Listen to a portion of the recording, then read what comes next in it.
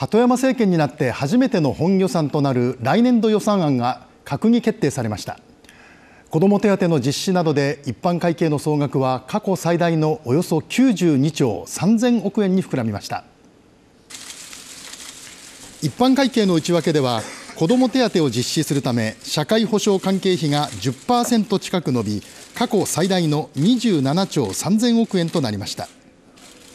一方コンクリートから人への理念のもと公共事業費は18%削減し32年ぶりの低い金額になりました。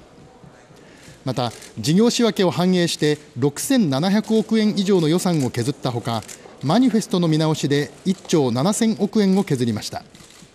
しかし歳出削減は思うように進まず税収も9兆円近く大幅に落ち込んでいわゆる埋蔵金など税外収入から10兆円以上をひねり出しました。最終的な国債発行額は44兆円台とかろうじて政府の方針を守りましたが国と地方の借金は862兆円に膨らみ財政悪化は深刻です。今回の予算これを私は命を守る予算と呼びたいと思います。コンクリートから人へという理念を貫きました。